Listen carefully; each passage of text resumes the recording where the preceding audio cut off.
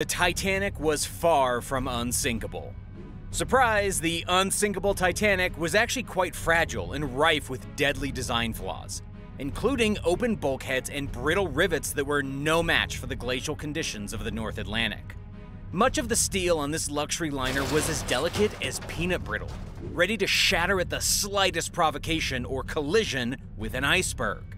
Although Titanic's fate was sealed the second the unsealed bulkhead started sucking in seawater and spilling over into one another, the faulty rivets stole valuable time, causing the steamship to falter and slip beneath the waves a full 24 times faster than anyone calculated. This may account for why the initial lifeboat launch took so long. Nobody counted on the Titanic succumbing to the waves in record time. Ironically, if the big ship had hit the iceberg straight on, as opposed to sideswiping it, the ship might have been able to stay afloat, but hindsight is always 2020.